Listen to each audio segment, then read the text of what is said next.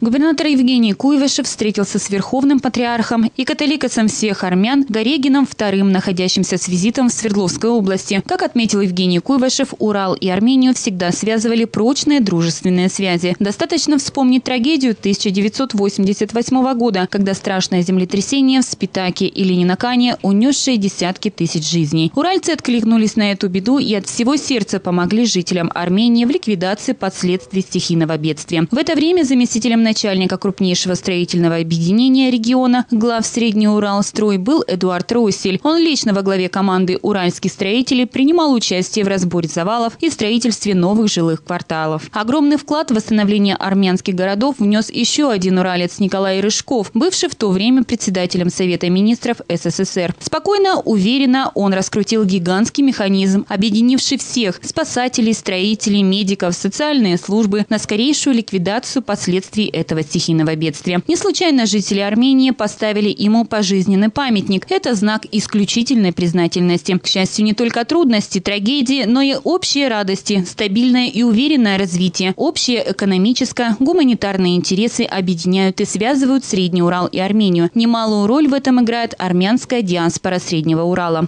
Безусловно, столь высокое внимание э, вашего святейшества к нашему региону, оно нас ко многому обязывает.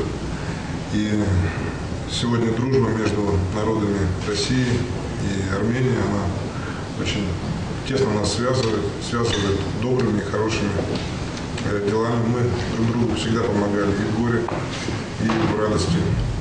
И для меня сегодня большая честь разделить с э, армянами, с армянской общиной Свердловской области э, очень важное событие. И, безусловно, то, что сегодня делает у нас здесь армянская община, это вызывает только уважение и вызывает э, самые теплые чувства. В Свердловской области немало национальных общин, и со всеми налажено взаимодействие. Армянской общине характерна самодостаточность. Община выступает не просителем, а полноправным социальным партнером власти. Традиционно армяне Свердловской области принимают активное участие во всех значимых национально-культурных мероприятиях Свердловской области. Дни народов Среднего Урала, Ассамблея народов Среднего Урала, областных фестивалях национальных культур Свердловской области. На всех традиционных национальных праздников Среднего Урала особенным вниманием пользуются выступления учащихся армянской воскресной школы. В ней ведется обучение армянской письменности, армянскому языку и армянским обычаям и традициям, ознакомление с историей и культурой армянского народа. Организация «Ани Армения» оказывает благотворительную помощь больницам, детским домам, малоимущим и пожилым гражданам, проводит благотворительные акции и концерты. При общении действуют бесплатные юридические и медицинские консультации для населения. Организация является учредителем Центра поддержки поддержки национально-культурных объединений Свердловской области и Ассоциации национально-культурных объединений Свердловской области. При общине создано молодежное общественное объединение, под патронажем которого тренируются футбольная и волейбольная команды. Вот и в строительстве храма Армянской апостольской церкви, который стал первым не только в Свердловской области, но и во всем Уральском федеральном округе, приняла участие вся армянская община Свердловской области. Также во встрече приняли участие вице-губернатор Свердловской области, руководитель администрации губернатора губернатора Яков Силин, патриарший экзарх, глава Новонахичеванской российской епархии Армянской апостольской церкви Эзрас, чрезвычайный и полномочный посол Республики Армения в Российской Федерации Олег Есаян, губернатор Армавирской области Армении Ашот Кагманинян, заместитель министра обороны Армении Мерсик Челинганян, посол по особым поручениям Республики Армения Левон Сарксян, председатель общественной организации «Армянская община», а не Армения в Свердловской области, Масис Назарян, затем Затем участники встречи отправились в храм Армянской апостольской церкви католика всех армян Горигин II в сослужении управляющего российской и Новонахичеванской епархии епископа из Раза осветил собор Армянской апостольской церкви в Екатеринбурге. В этот же день Евгений Куйвашев и Горигин II посетили еще один из крупнейших православных храмов России – храм на крови во имя всех святых в земле российской просиявших.